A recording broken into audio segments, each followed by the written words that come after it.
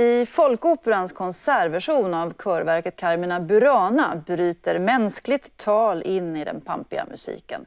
På scen berättar några kvinnor för allra första gången om sina liv, om hur det blev.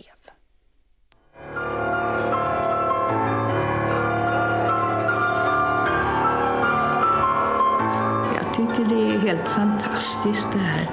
Det har ju kommit in i någonting, en helt ny värld. Och det är ju helt underbart.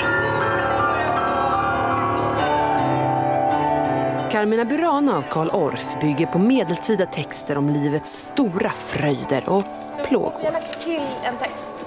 På Folkoperan blandas den dramatiska musiken med minst lika dramatiska minnen från en grupp damer i 80-årsåldern.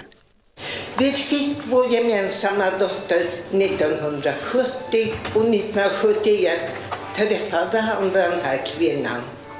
Och jag visste hela tiden om henne men sa aldrig någonting.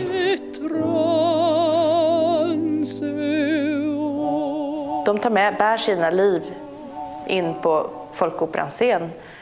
Eh, Det är fantastiskt. Min mamma tyckte inte om mig. Min mamma ville att jag skulle vara en annan. Nej, men jag, jag, jag, ska, jag, kan stå kvar För idén står Melika Melouani Melani som också regisserar de teaterovana damerna. Ibland är vi ju lite sådär, ska jag gå till vänster eller var det det här jag skulle säga? Hon tar oss med lugn och ro och med detta stora tålamod. Så försök göra det tillsammans. Det verkar inte vara någon brist på berättelser bland gamla i Sverige. Om man bara frågar. Jag kommer aldrig glömma eh, den dagen, eller de dagarna ska jag säga. Jag tror det var drygt 70 damer som kom på, på de här auditions. Och då sa väldigt många ungefär så här att eh, de kom från en tradition där de inte brukar prata om eh, sina problem och man gick inte i terapi och sådär. Så jag har aldrig berättat det här för någon. Men och sen kom det berättelser och det kom så mycket berättelser så vi var liksom helt översköljda och eh, det var så, eh, vi var skakade i grunden. Jag ska berätta om mitt livs första stora sorg.